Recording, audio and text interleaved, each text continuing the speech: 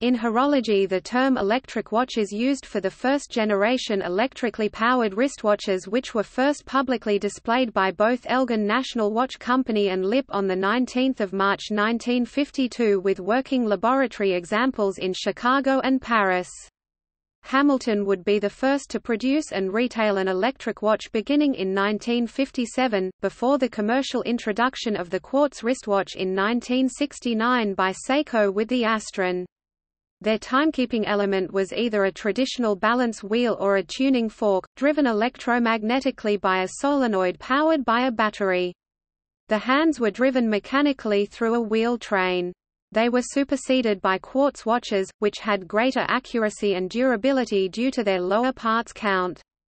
Recent automatic quartz watches, which combine mechanical technology with quartz timekeeping, are not included in this classification.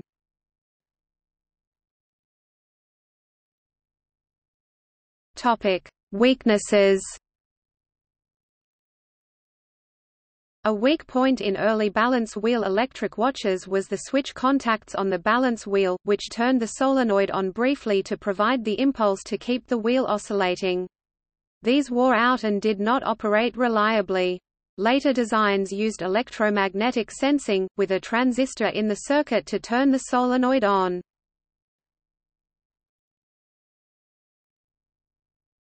Topic: Types of electric watches. Moving coil system, contact controlled, refers to watches with a balance wheel with integrated coil, fixed magnets and mechanical contacts.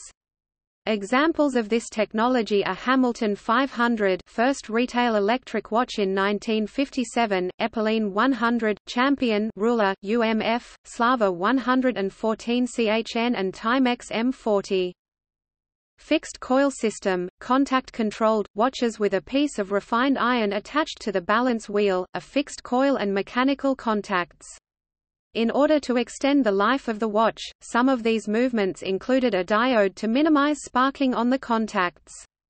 Examples of this technology are LIP Electronic R27, LIP R148, Elgin Electronic 722, 725, 910 which were the smallest electronic movements ever made and Landeron ESA, Ebauches SA 4750.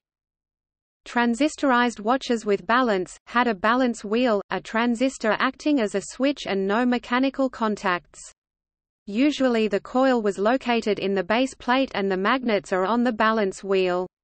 Watches using this technology include Timex M87, Laco 882, Citizen X8 series and Seiko Electronic 31A. Another common example is ESA Dynotron Cal. 9150. Tuning fork watches, instead of a balance wheel, these watches used a tuning fork driven by a solenoid powered by a one-transistor oscillator circuit and no mechanical contacts. The tuning fork had an attached pawl and index wheel, which turned the gear train. The common frequencies used in watches were 300 Hz ESA-MOSABA Cal. 9162, 9164 and 9210, 360 Hz Bulova Accutron Cal. 214 and 218, Slava Transistor, Tianjin Yinchabiao, Prim Elton, 480 Hz Bulova Accutron Cal. 2300 and 720 Hz Omega Megasonic Cal. 1220 and 1230. Omega F300 Hz and Speedsonics series are common examples of ESA-MOSABA-based watches.